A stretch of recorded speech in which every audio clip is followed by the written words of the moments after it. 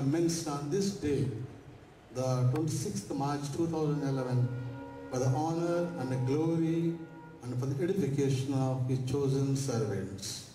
Amen. God and sing for joy with our voices, with our prayers, with our life, and with our love. Amen.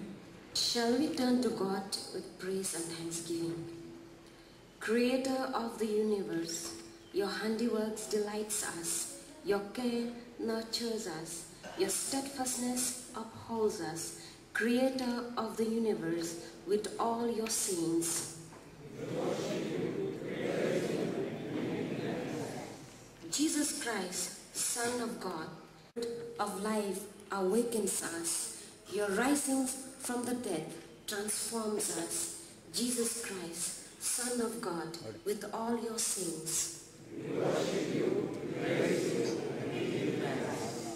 Holy Spirit, breath of life, your vitality empower us. Your fire illuminates us. Your powerful love unites us. Holy Spirit, breath of life, with all your saints. privilege, honor to welcome our distinguished guest, who is the founder, president of the Bethel Bible College, and also the founding president of the Gospel Mission of India,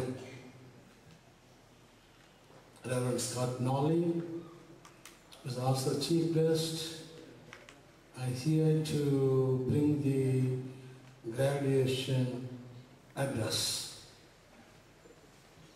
Is not new to almost all of you. He has been a friend of all of us.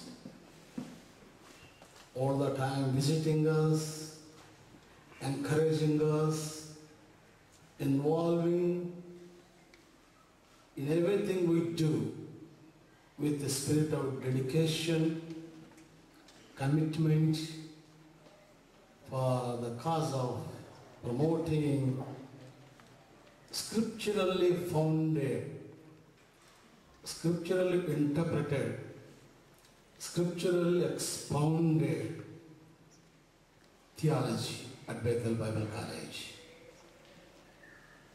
I also want to thank Dr. Robertson, the principal, our counseling from time to time and everything that he has contributed and he continues to contribute to the development of this college, upbringing of this college, taking it to greater heights, maybe every year gaining a new mind in the history of the Bible College and also maybe among other colleges affiliated to the Senate of Serampore College. Mission of India, founder president Bethel Bible College and honorable graduation speaker. Reverend Dr. P.N.S. Chandra Bose, President Bethel Bible College. Mrs. Melody Nolling, Vice President, Gospel Mission of India. Dr. Leela Bose, Member Executive, other dignitaries, graduating students, guests, friends, professors and students. I have great joy in welcoming you all to the first BD graduation service of Bethel Bible College on this day, the 26th March 2011. Particularly, hearty congratulations to all graduating students who have successfully completed their studies and ready to receive their college diplomas this day. At the outset, I sincerely acknowledge the immense contributions of Joyce Meyer Ministries to Bethel Bible College. Very specifically, with profound gratitude, I appreciate the earnest efforts of Reverend Scott Allen Nolling, the international consultant and Asia director of Joyce Meyer Ministries, and his beloved wife, Mrs. Melody Nolling, in sharing the concerns of Bethel Bible College, Joyce Meyer Ministries, and other like-minded ministries. Special gratitude and appreciation to Gospel Mission of India for the fervent support, encouragement, and inspiration to provide sound, credible, and enduring theological education to meet the various ministerial needs of the church at large. I also greet and thank all the dedicated and committed individuals, organizations and churches that are recommending candidates for theological education and ministerial formation at Bethel Bible College. A special day. The 26th March 2011 is a special day in the history of Bethel Bible College. BBC was serving the 2000 by offering GTH, BTH and MD programs with accreditation from Asia Theological Association. Although these programs continued until 2009, the vision of the founders of the college to offer a widely accepted degree program for committed men and women for ministerial training came into fruition in 2005 and the college got affiliated with the Senate of Serampore College to offer BD degree studies. As the first batch of 24 BD students are going to be graduated today, we rejoice in the Lord for enabling us to witness this eventful day. We give all glory and honor to God with humility and, hum- and humbling before Him to seek His grace and guidance as we continue our sincere commitment for theological education. We earnestly pray that God will effectively use. Compared to the previous years, there was a marked increase in the flow of students for the academic year 2010-11. Due to constraint of accommodation and other infrastructure shortages, we were unable to accommodate all the students who applied for admission. However, we were able to admit altogether 50 new students who are committed to serve and confident of the call for ministry. Of the 50 new students, including five female candidates, one is from Salem Church, 12 are from at least five different orders of Baptist Church, three are from Evangelical Church of India, 21 are from Church of South India, and 13 are from different independent churches. In the process of screening the students, we found that many students have left their previous prospective or lucrative jobs or studies and are committing themselves for ministerial training.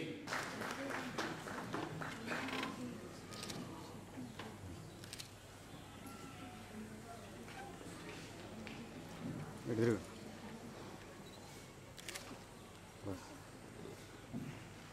And Jivaraj from BD Upgrading.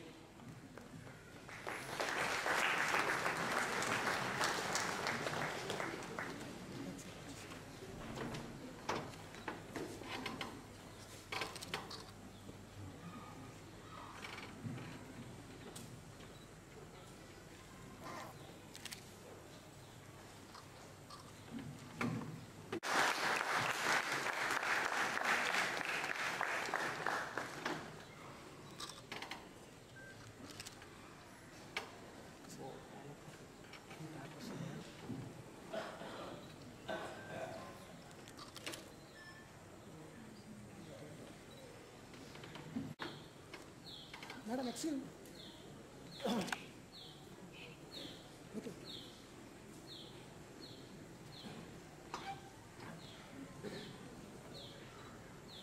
Madam?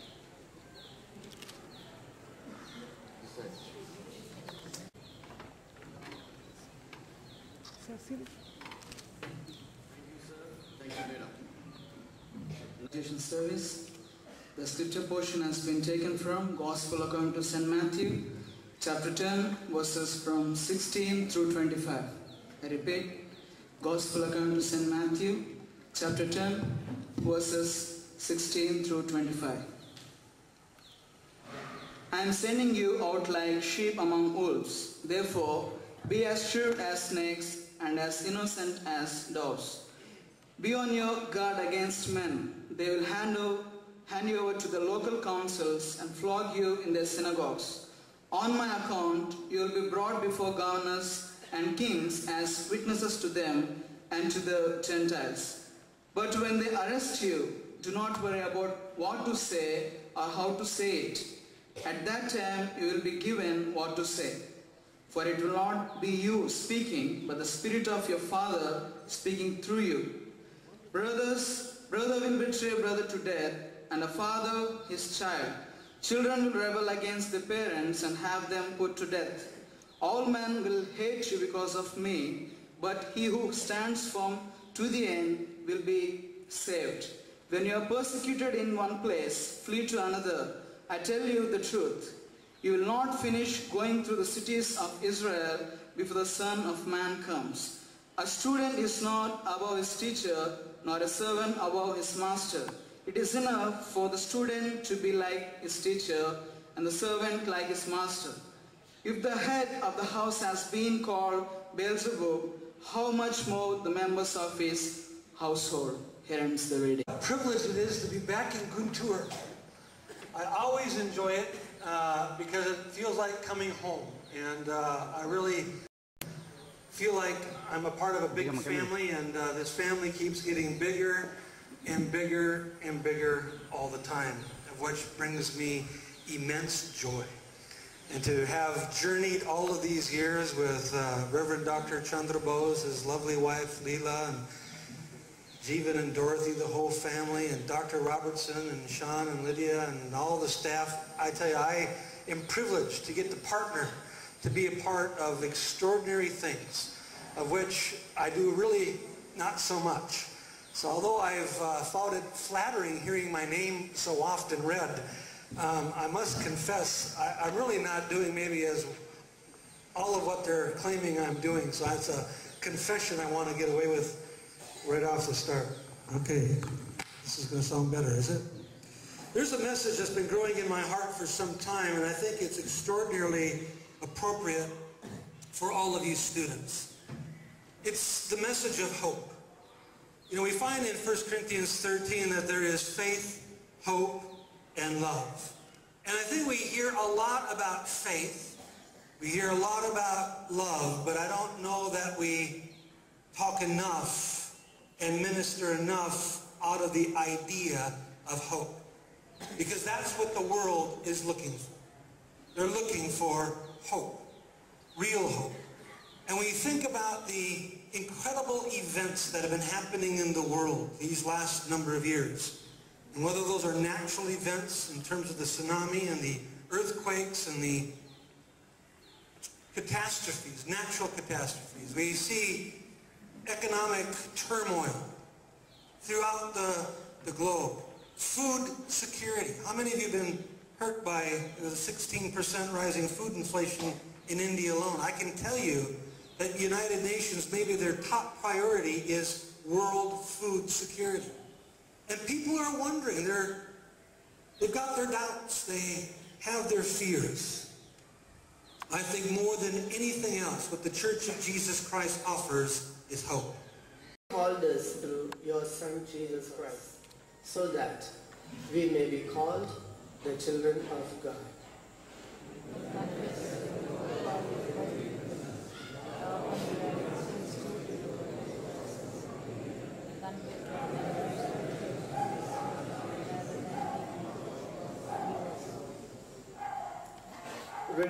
Christ, you have called us by name and sent us into the world as ambassadors to proclaim the good news of salvation to the lost humankind, to bind the brokenhearted and to set the captives free and thereby reconcile and restore the broken relationship between God and human.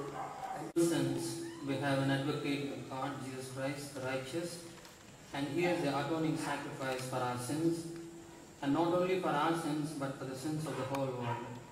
Therefore, if we confess our sins, he who is faithful and just will forgive our sins and cleanse us from all unrighteousness. We do not presume to come to you, trusting in our own righteousness, in your manifold mercies. We are not worthy of your save yesterday, today, and forever.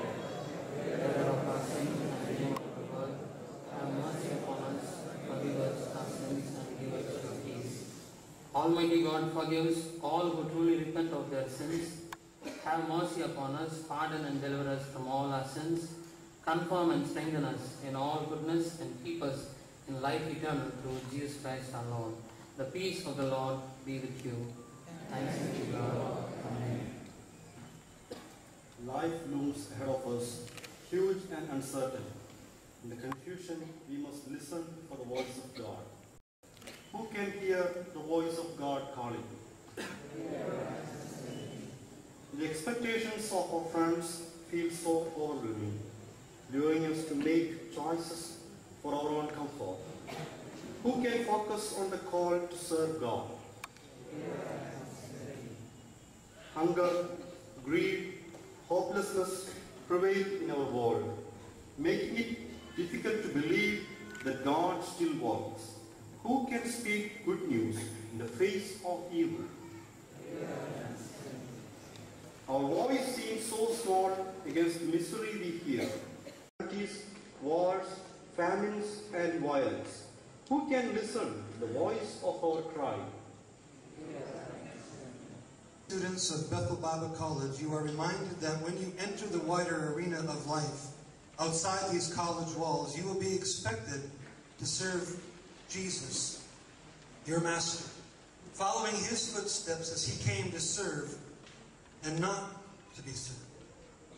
You are invited to make the following promises as we together join in the act of dedication of our lives for the greater glory of God and the establishment of his kingdom here on earth.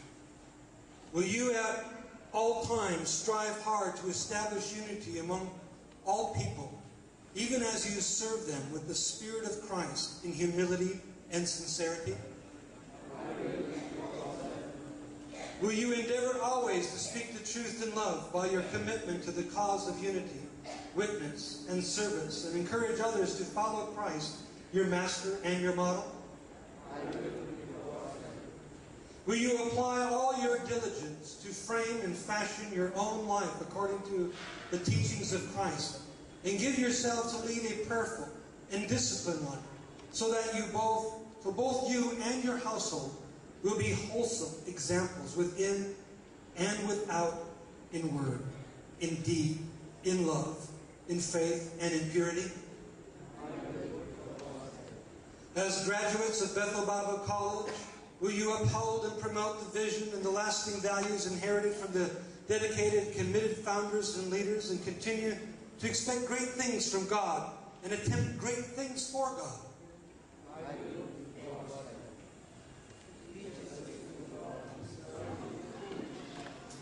G. Guruvinda Pali Supriya. Kastala Ashok Kumar. Joshua Vidyasagar D. Dilip Kumar Kandala. Watson Karamati. Nalapuz Siddhakar Rao. Prasant Manga. Gandaputi Sudhir Babu, A. Jack Samuel, T. Wilson Vinsaraj,